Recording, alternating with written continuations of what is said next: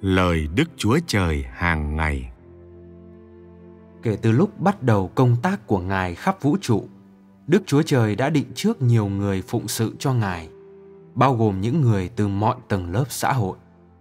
Mục đích của Ngài là đáp ứng ý muốn của Ngài và làm cho công tác của Ngài trên trần gian được hoàn tất suôn sẻ. Đây là mục đích của Đức Chúa Trời khi chọn những người phụng sự Ngài.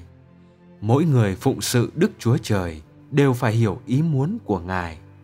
Công tác này của Ngài khiến người ta thấy rõ sự khôn ngoan và sự toàn năng của Ngài, cũng như những nguyên tắc làm việc của Ngài trên trần gian.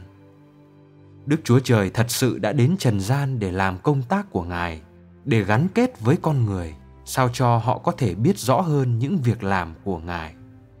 Ngày nay, các ngươi, nhóm người này may mắn được phụng sự Đức Chúa Trời thực tế. Đây là một phước lành không kể xiết dành cho các ngươi.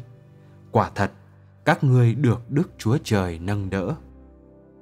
Khi lựa chọn một người phụng sự cho Ngài, Đức Chúa Trời luôn có những nguyên tắc riêng của Ngài. Việc phụng sự Đức Chúa Trời hoàn toàn không đơn giản là vấn đề nhiệt tình như mọi người tưởng tượng. Ngày nay, các ngươi thấy rằng hết thảy những ai phụng sự trước Đức Chúa Trời đều làm như vậy bởi vì họ có sự hướng dẫn của Đức Chúa Trời và công tác của Đức Thánh Linh và bởi vì họ là những người theo đuổi lẽ thật. Đây là những điều kiện tối thiểu đối với hết thảy những ai phụng sự Đức Chúa Trời. Phụng sự Đức Chúa Trời không phải là nhiệm vụ đơn giản. Những người có tâm tính bại hoại vẫn không thay đổi, không bao giờ có thể phụng sự Đức Chúa Trời. Nếu tâm tính của ngươi chưa bị phán xét và hành phạt bởi lời Đức Chúa Trời, thì tâm tính của ngươi vẫn còn đại diện cho Satan. Điều chứng tỏ rằng ngươi phụng sự cho Đức Chúa Trời bởi những ý định tốt của riêng mình, rằng việc phụng sự của ngươi dựa trên bản tính Satan của ngươi. Ngươi phụng sự Đức Chúa Trời với tính cách tự nhiên của ngươi và theo những sở thích cá nhân của ngươi. Hơn nữa, ngươi luôn nghĩ rằng những điều ngươi sẵn lòng làm là những điều làm vui lòng Đức Chúa Trời và những điều ngươi không muốn làm là những điều Đức Chúa Trời ghét. Ngươi làm việc hoàn toàn theo những sở thích của riêng mình. Đây có thể được gọi là phụng sự Đức Chúa Trời không? Cuối cùng, sẽ không có chút thay đổi nào trong tâm tính sống của ngươi. Thay vào đó, việc phụng sự của ngươi sẽ khiến cho ngươi càng ngang bướng hơn. Từ đó làm ăn sâu tâm tính bại hoại của ngươi và như vậy, trong ngươi sẽ hình thành những quy tắc về việc phụng sự Đức Chúa Trời mà chủ yếu dựa trên tính cách của bản thân ngươi và những kinh nghiệm xuất phát từ việc phụng sự của ngươi theo tâm tính của bản thân ngươi. Đây là những kinh nghiệm và bài học của con người. Nó là triết lý sống trên thế gian của con người. Những người như thế này có thể được xếp vào loại những người Pharisee và các chức sắc tôn giáo.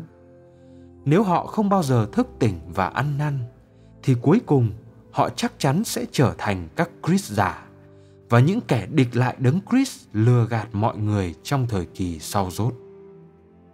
Các Christ giả và những kẻ địch lại đấng Christ được nói đến sẽ dấy lên từ những kẻ như vậy.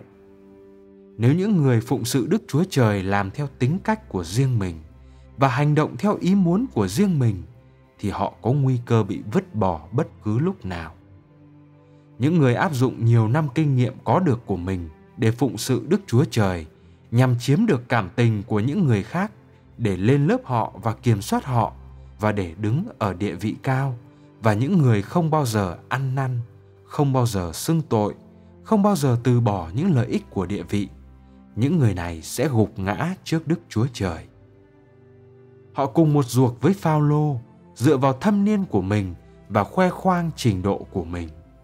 Đức Chúa Trời sẽ không hoàn thiện những người như thế này.